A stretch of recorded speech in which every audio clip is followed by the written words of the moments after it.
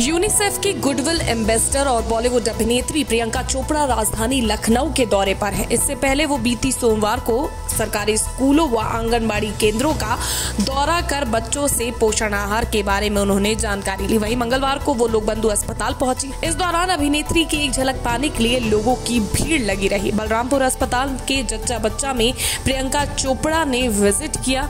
Ward में जाकर महिलाओं से मिली और उनके स्वास्थ्य के बारे में प्रियंका चोपड़ा ने जानकारी ली।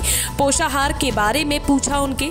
इस बीच देसी गर्ल के दौरे का विरोध उत्तर प्रदेश की राजधानी लखनऊ में शुरू हो गया है।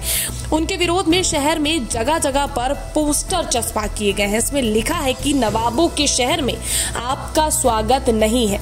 बहरहाल, अभी ये स्पष्ट नहीं हो सका है कि उनका विरोध क्यों किया जा रहा है। लेकिन उनके दौरे से लगातार दूसरे दिन उनके पोस्टर जगह जगह पर चस्पा कर उनका विरोध जताया गया है। बता दें कि लोकबंधु के बाद मोहनलालगंज, अवंतीबाई महिला अस्पताल और गोमती नगर स्थित यूनिसेफ कार्यालय का भी प्रियंका चोपड़ा के द्वारा विज़िट किया गया।